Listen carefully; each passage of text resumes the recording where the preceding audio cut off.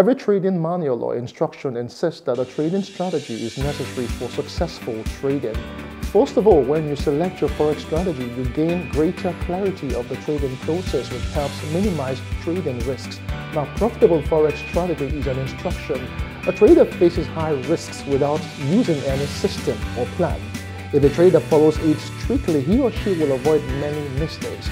Now, the market is hard to predict and it often results in trading mistakes. Your forex strategy will tell you what you should do in various changeable market conditions. Your trading strategy should be suited for any situation. You won't try to guess when to enter or exit a trade.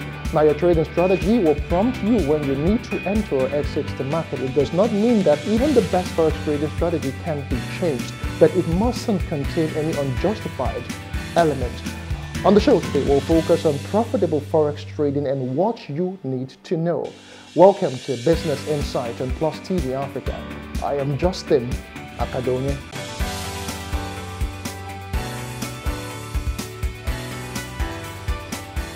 Now, starting in the forex market often result in a life cycle that involves diving in headfirst, or giving up or taking a step back to do more research and open a demo account to practice. From there, new traders may feel more confident to open another live account, experience more success, break even or turn a profit.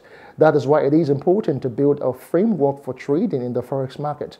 In a constantly shifting terrain of forex trading, Lamidi Sikira, popularly known as Kira Forex, emerges as a luminary figure with a mindset to change the world. Now, her multifaceted career encompasses roles as a forex trader, author, mentor, and coach. Now, Kira Forex's unwavering dedication to financial markets, coupled with a profound understanding of the global economy, sets her apart as a true industry maven. Now, beyond her prowess in forex trading, Kira Forex is a dynamic entrepreneur with diverse business interests, including ventures in foreign exchange markets, real estate development, logistics, and fintech.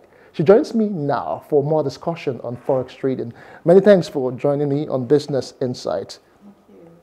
All right, there's a whole lot to talk uh, when we talk about forex because uh, Nigerians are actually looking for best ways to keep going at a time where the country's economy is actually stifling practically everyone. So let's take it a step-by-step approach. Let's call it like forex 101, if you may. Yeah. So if I am interested in getting into forex, what's the first thing I should even be thinking of? All right. Um, the first thing is to know what forex is. You need to understand how the forex market works. You need to understand what is currency. Mm. And then you also need to understand what happens in different countries like geopolitical and economic factors that affect a country. Mm. So okay. these are some of the few things you need to know before you venture into forex trading. Okay, but uh, okay, so I need to understand what the currency is, so and I need to understand how it works and volatility. But then, is forex trading for just um, an all-commerce affair, or does it really uh, involve some, you know, in-depth training, or is it something you could just do after a short time, really? All right, so forex trading can be done by everybody. Uh, if you can read and write, at least you can also do what forex trading because in everyday life we do what we call forex trading even at the black market if you go there to exchange money mm. you are basically doing what we call forex trading if you are traveling from one country to another when you change your currency into that country's currency mm. you are basically doing what we call forex trading Okay, in my head, I'm thinking that's like I'm going to an aboki to exchange your dollar for naira, but I never knew that's uh, still forex because I know forex is foreign exchange. But then I thought it's something that uh, because most times people talk about forex, I see lots of lines, which I really yeah. don't understand. So, but then uh, let's break it down step by step okay. and um, uh, trying to understand the psychology of trading. So you said uh, it's basically what we do on a daily basis, you know, when we exchange um, currency for another currency. But then people do it as uh, uh, a way of making income, not just uh, because they need um, another currency for some reason, but they do it as like a venture.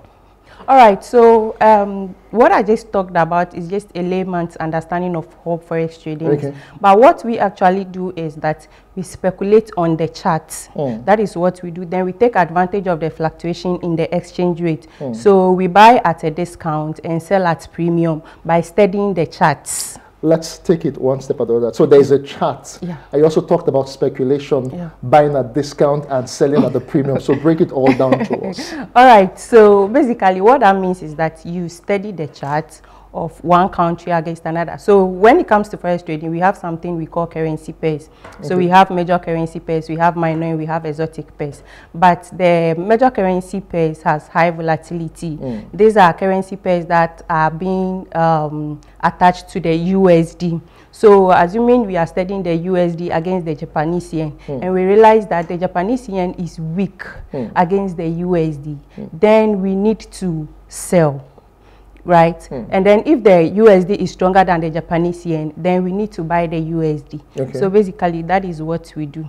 Now, when we realize that the USD is weak, then it means we also sell the USD Okay. and then buy the Japanese yen. So invariably, what I can get from all that you have said so far is that when your currency is weak, that's when you sell. Yeah, Okay, so when it's actually uh, gaining per se, that's when you buy. Yeah. Okay, for instance, right now, let me just break it down to what's have, happening in the forex uh, market in Nigeria, where uh, the currency has actually hit a, an all-time low per se. You know, exchanging for the dollar at over a, a thousand five, a thousand six. So. If you were to be in Nigeria you need to trade, so what are the bases really? Are you tr- are you supposed to be trading in the yen or in the dollars or what exactly? Okay, so one thing about the, let's say the Nigeria Naira Mm. and let's say the Ghana cedis is that these currency pairs do not have high volatility. Okay. So we usually trade currency pairs that have high volatility like the JPY, the Japanese yen, Yeah, the pound okay. JPY, JP, the okay. USD, Mm. and the Canadian dollar. Okay. Yeah, so we do not really trade the um, Naira. Okay, so it's uh, the the, G, the GBP, the yens, and the dollars that time that are really being traded on when we talk about forex, really. Yes, so Okay. these are the, the major currency pairs that we trade on the charts. Okay, I know there's a bit of psychology of trading per se. Let's talk about mastering your mind when we talk of forex. Now, how can traders overcome common emotional biases like fear, greed, and overconfidence? All right, you know, um, everything about forex trading is psychology. So psychology plays 90% when it comes to mm. forex trading. And when we talk about psychology, we are talking about your emotions, your reactions when you place a trade as to whether you are in profit or you are in a loss, how you react. You know, there are people when they place a trade and they make money, they mm. Over rejoice, Mm. forgetting that they need to take profit and leave the market quickly. They over rejoice, forget themselves, and later lose whatever profit they made. And we also have people when they lose money, Mm. they they it affects them emotionally. Mm. So for you to be able to overcome all these things, you need to master your skills. You need to understand how the market works. When you make profit, you need to exit quickly. That is why in forex trading we have something we call take profit and stop loss. So when you set a take profit, it is telling you that I've reached the maximum of the day and I need to leave. And we should also understand that when it comes to forex trading, there are losses. There are people who venture into forex trading. Once they lose part of their money, they think forex is not for them. But it doesn't work like that. Even in every business, there are losses. So once we accept that there are losses, then everything becomes okay. Okay, so what is the importance of developing a trading journal and tracking performance? All right, so the importance of doing that is that uh, it gives you an edge. That is, you know how much you are risking per day, you know your risk to reward as well, and it also guide you to be disciplined. Yeah, because this is, thi- we are talking about money here, and we know every human being is a bit greedy when it comes to money because we always want more. Hmm. That is when people end up losing money. So when you have a plan that guides you that at the end of the day, I want to risk only 2% of my account, I want to make 5% of my account, then you go according to that. Okay, so so having said that now, so if you uh, understand uh, biases, uh, greed, and overconfidence, and you have a tracking journal and tracking, you're tracking your performance, what next should you be mindful of? Um, I Talk think about building a disciplined trading routine and managing stress. How does that really work? um, building a trading routine and money, I think it all comes to the Together. trading plan. Okay. Yeah, can all be found in the trading plan. Okay. So, so, so really, uh, let's take it another step further. So, for instance, I'm a novice. I just have heard that uh, forex is the in thing and it's something that could be very profitable, and I really want to do it. So, how long would it take me to be a master in it uh, to the extent that I can start trading all by myself and also know how to speculate uh, to discount and to premium as it were? Okay, so learning how to trade is just like any school. Let's compare the medical school with forex trading. You mm. go to a mm. medical school for seven years because before you become mm. a professional doctor. Just like for um, it's just the same as forex trading. You mm. need to be trained, coached, and mentored. Uh, we have people who take three years to understand the forex market. We three have years. people yes, three years. So it's just a school. You move from one stage to another. You move from one stage to another till you become profitable and a professional. So at stage one, I can be profitable. you can, but it depends on your level of understanding. You know, okay. we have people who can easily Grasp assimilate and understand yes. very quickly. For okay. me, myself, it took me How long did it almost three and a half years to be profitable. Yeah, oh, and wow. it also depends on your consistency and discipline. If you are not consistent, we, we forex traders, we always say that the market is the best mentor. So mm. the market to teach you how to be profitable. So you always need to stick with it. At least you spend like two or three hours with the charts each and every day. That's how you become consistent. Okay, before we talk about um, identifying potential trading opportunities, I'm just thinking in my head, are there best times in the year based on your experience and uh, what you've been doing in Forex and the trading and all the lot? Are there best times in a particular year? Maybe there's a season that you feel that it's when people are advised to really trade? All right, the forex market is open 24 over 7, that is every day. Okay. But what happens is that um, we, the retail traders, we do not really have that much capital. When you say retail traders, what does that mean? Uh, like um, somebody like me, hmm. and let's say this mm, some small, small banks. Okay. Maybe you that you have your own capital you want to trade with. Mm. We are the retail traders. Okay. Because when it comes to the forex market, we have different players. We have the central bank, we have the brokers. These are people who have high uh, liquidity, like they have okay, cash. Stakes. Yeah. yeah. So we, the retail traders, because we don't have direct access to the forex market, yeah. we go through uh, middlemen we call the brokers. So the brokers give us access to the forex market. Okay. Now these brokers are also human beings. It gets mm. to a point they also need to go to break, Easter breaks, um, Christmas breaks, and and other stuff. So when it gets to that time, um, the liquidity in the market becomes very low. Mm. That is especially around December, even though the market is open 24 over 7. But mm. when it gets to that point, they, they go on holidays, they go on break, so there is no much liquidity. And even like the central banks and other stuff, they also yeah. go on break. So there is no much liquidity in the market around December, January, February. Okay. But uh, from somewhere around March going, yeah. there is high liquidity. So what is the role of risk management in implementing successful trading strategies? All right, so when we talk about risk management, um, this is how I always explain it, all right? So when you're entering into the forex market, you know this is how much you are risking per trade. That is what makes you a trader. So I always say that show me a good trader and I'll show you a risk manager, all right? So if I'm entering into a market and I'm telling the market that at the end of the day, I'm risking 2% of my account, if at the end of the day, that is what is, is or if I lose 2% of my account, mm. I know that is what I've given out. But then if I say my reward is 2 is to 5, 2 is to 5, and at the end of the day, I make 5% of um, the risks, then that makes me a good risk manager. Okay, so uh, once you've identified um, this potential risk and you're able to manage them, uh, is there a way you can develop a consistent trading routine and adapt uh, strategies to changing market conditions? Are there best ways to doing this?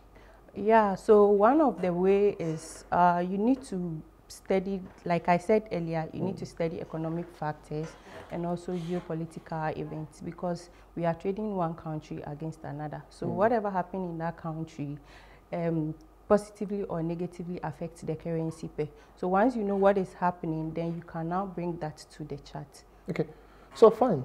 At a point, uh, specifically in Nigeria now, where people have um, economic issues, uh, the economy is not really uh, well-to-do, as it were, and uh, people are trying to even manage the little that they have. Just how little can you really invest you know, if you really want to start out in forex trading? So I was saying that you can also trade on people's account. That is for people who don't really have time to trade because mm. trading forex actually takes time. You need to study the charts, know the movement, where the market is going, find out your edges, your entry before you enter a trade. So people, we have people who don't really have time even though they have the cash. Mm. Yeah, so you can also do that and make money. You can also provide signals and make money. Mm. So we have, you can also create educative content, put on YouTube and also make money. So when it comes to forex trading, we have different sources of cash flow, not just a single source of cash flow. Okay, so let's talk about uh, you, Kira, for instance. Uh, you know, I'm sure you have opportunities that you present out there for people. How often do you do that? And um, do you do educational uh, videos or trainings uh, from time to time? Just uh, run it by us. Yes, I do one-on-one -on -one coaching. I also do online coaching and private coaching. Then I also manage funds for people from all across the world and I also provide signals, mm. right? I also provide content on my YouTube channel, Kira Forex on YouTube. Okay, so as we round off now, let's uh, get your candid advice to people who have actually uh, been involved in Forex trading and for some reason or the other, they've not been able to reap all of the fruit and they are a bit discouraged. What would your advice be for them? Straight up the camera. All right, so what I would like to say is that there is nothing that comes easy in this world. Even in marriage, there are difficulties. The same thing happens in forex trading. If you want to be profitable, you just need to be consistent, disciplined, and go according to your plan, and you would get there. If you give up now, I don't think it's an option.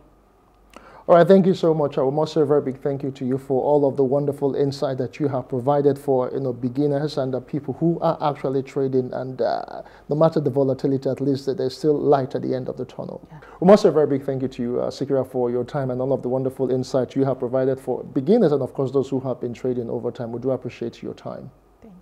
All right, my guest has been Sikira Lamidi, CEO of Kira Forex Trading Academy, and we have been talking about Forex trading and all that you need to do. My name is Justin Akadonye. Keep it a date, same time, next time. Bye for now.